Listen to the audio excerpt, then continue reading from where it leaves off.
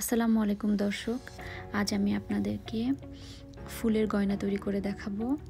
Readymade ফুল দিয়ে কীভাবে ফুলের গয়না তৈরি করা যায়। এখানে আমি দুইটা ফুলের স্টিক নিয়ে নিয়েছি। এই স্টিক থেকে ফুলগুলো খুলে নিয়ে আমি ফুলের গয়না তৈরি করব। এটা আপনি যে কোনো প্রোগ্রামে পড়তে পারবেন। আমি প্রথমে হলুদ কালারের একটা ফিতা নিয়েছি। এবং কিছু পুঁথি নিয়ে নিয়েছি কালারফুল এখান থেকে আমি পিঙ্ক কালারটা ইউজ করব। এরপর আমি ফুলগুলো খুলে নিয়েছি, নিয়ে ফিতার সঙ্গে একটা একটা করে ফুল আমি আমার পছন্দ মতো ডিজাইন করে সেলাই করে নিচ্ছি। দেখতে পাচ্ছেন, আমি ফুলটা তৈরি করে নিয়ে এর মাঝখানে পুঁথি থেকে একটা আপনার পছন্দ মতো একটা কালারের পুঁথি আপনি ইউজ করতে পারবেন। আমি পিঙ্ক কালারের পুঁথি ইউজ করেছি।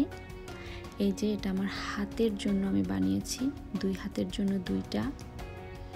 ফুল দেখতে পাচ্ছেন? দুই হাতের জন্য দুইটা। যে এইভাবে পড়তে হবে। বানিয়ে নিয়েছি। এরপরে আমি কানের দুল তৈরি করে নিচ্ছি। আমি দুই কালারের দুইটা ফুল নিয়েছি এবং মাঝখানে আমি রেডিমেড একটা কানের দুল দিয়ে কানের দুল তৈরি করে নিয়েছি। এটা খুব ইজি কানের দুলটা তৈরি করা। এটা আপনারা যে কোনো সময় পড়তে পারবেন। গায়ে হলুদের প্রোগ্রাম ফাল্গুন, পহেলা বৈশাখ যে কোনো অনুষ্ঠানে পড়তে পারবেন। এরপরে আমি গলার হারটা তৈরি করতেছি। এই যে আমি গলার হারটা তৈরি করে নিয়েছি, সেই একইভাবে আমি সেলাই করে নিয়েছি। সব ফুলগুলা দুইটা একসঙ্গে করে দিয়ে পুঁথি বসিয়ে আমি সেলাই করেছি এবং মাঝখান দিয়ে একটা ঝুল দেওয়ার জন্য আমি একটা এক্সট্রা ফিতা সেলাই করে নিয়েছি এবং ফিতার মাথায় আমি একটা ফুল বসিয়ে দিচ্ছি। সেলাই করে দিচ্ছি ফুলটাকে। দেখতে পাচ্ছেন, এইভাবে আমি আমার গলার হারটা তৈরি করেছি।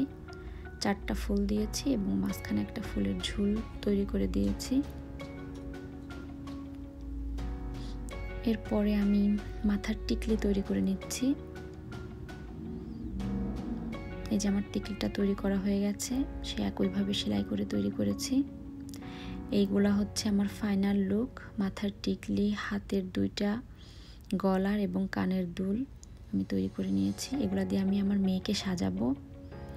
এটা হচ্ছে আমার ফাইনাল লুক আমি তাসবির জন্য এগুলো তৈরি করেছিলাম। ফাল্গুনে ওকে সাজানোর জন্য, ফাল্গুনের এখনও কিছুদিন বাকি আছে। ওকে আমি সাজিয়ে দিয়েছি এভাবে। দেখতে পাচ্ছেন কত সুন্দর লাগতেছে এটা। আপনারা হলুদের প্রোগ্রাম, ফাল্গুন, পহেলা বৈশাখ যে কোনো প্রোগ্রামে পড়তে পারবেন এবং খুব ইজিলি এটা তৈরি করতে পারবেন। আমরা যারা দেশের বাইরে থাকি, আমাদের জন্য তো হাতেই তৈরি করে নিতে হবে। এখানে তো এরকম সচরাচর বাংলাদেশের মতো পাওয়া যায় না। এই জন্য আমি নিজেই তৈরি করেছি এটা আমার মেয়েকে সাজানোর জন্য। ধন্যবাদ সবাইকে।